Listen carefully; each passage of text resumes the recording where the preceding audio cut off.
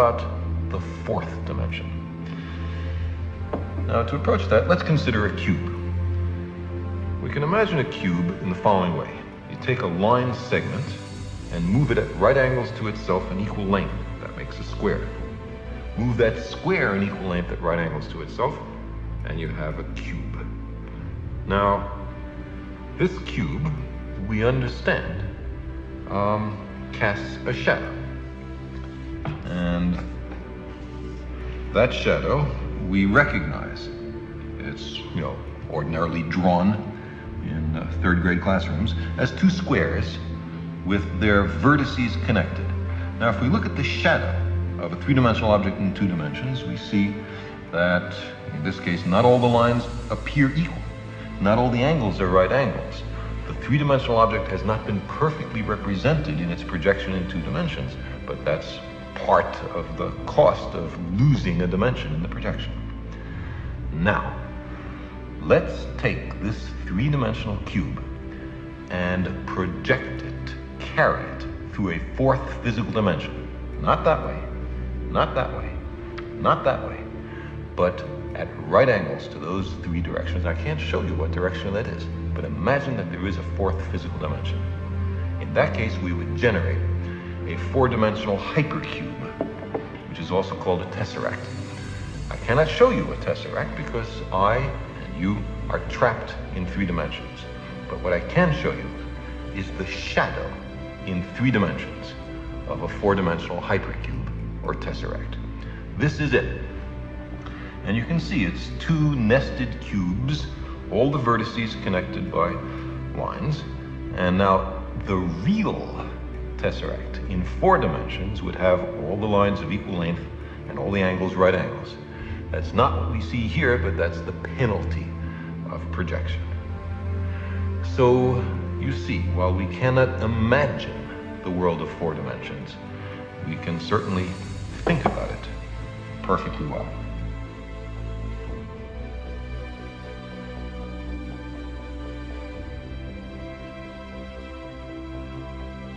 In the 1940s, an Austrian immigrant to America and refugee from Nazi Germany, Dr. Wilhelm Reich, made the scientific discovery of a previously unknown energy existing in the atmosphere, in space, and within living organisms.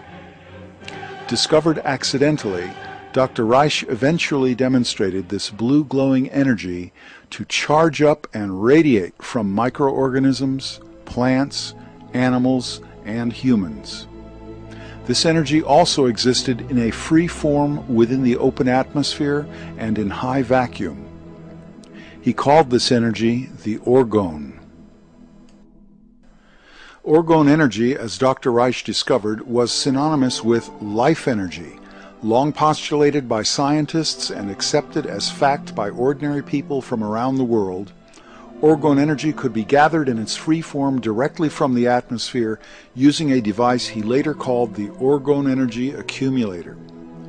A simple enclosure resembling a large hollow capacitor, composed of alternating layers of special insulators and conductors, the orgone accumulator allowed a high charge of the orgone to collect inside itself, facilitating its direct study and revealing many of its properties. Dr. Reich observed the orgone energy charge in the human biosystem was expressed in emotion and sexuality and could be measured bioelectrically. A person's overall vitality and aliveness was a function of human and atmospheric orgone charge and pulsation, and this could often be increased by sitting inside the orgone accumulator. Orgone charge of the tissues was a fundamental component of the immune system, as revealed in the bioelectric charging of red blood cells. The orgone accumulator was found to boost the immune system of people who sat inside them for periods of approximately 30 minutes a day over many days, and to thereby promote health and reduce the symptoms of some diseases.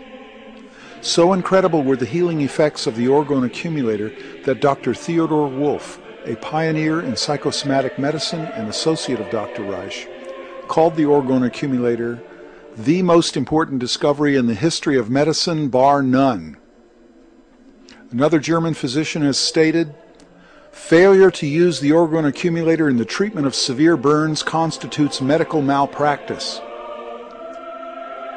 Dr. Reich observed the orgone energy had a blue color, and he reasoned the Earth was surrounded by an envelope of blue glowing orgone energy. He observed the streaming of protoplasm in the cells and movements of smooth muscle tissue bore a resemblance and functional similarity to the movements of streaming cloud patterns and to the illuminating an animal-like aurora phenomenon.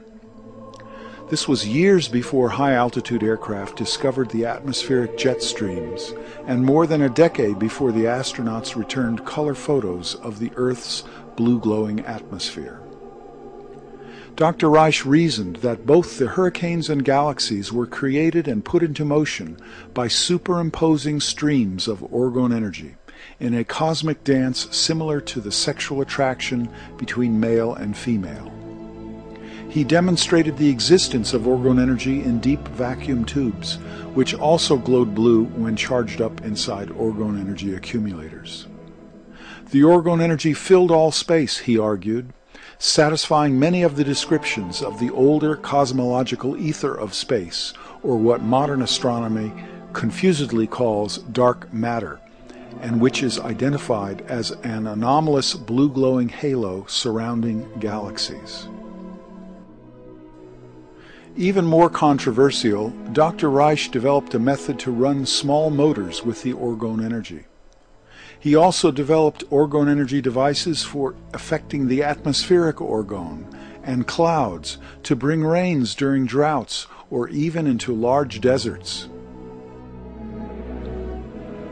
Dr. Reich demonstrated the same life energy or orgone energy in a number of carefully controlled experiments, too much to report in this short video, which allow us to make these short summary statements with reasonable scientific certainty. His publications on these subjects presented very positive results from his experimental work, but this only added to the hysterical outrage of his critics. They slandered his early research on human sexuality, called the orgone accumulator a sex box, and subjected Dr. Reich and his associates to character assassination and slander. Dr. Reich's work and ideas were chronically misrepresented in popular newspaper and magazine smear articles. Fraudulent information and outright lies, and without investigating his work in any serious manner, the medical establishment encouraged the U.S. Food and Drug Administration to seek and obtain a court injunction to stop Dr. Reich's research, writing, and speaking about his discovery. In a legal case which has far greater significance to American freedoms and the U.S. Constitution than the better known Scopes monkey trial, Dr. Reich was finally charged with contempt of court for the technical violation of an obscure cosmetic labeling law. He and an associate, Dr. Michael Silvert, were sent to prison, and Dr. Reich's books and research journals were ordered banned from interstate commerce, and existing copies were burned in New York City incinerators. Dr. Reich died in prison in 1957 while Dr. Silvert committed suicide shortly after his release. Victims of a left-wing smear campaign merged with organized big medicine and pharmaceutical interests. Fortunately, most of Dr. Reich's books survived and were republished.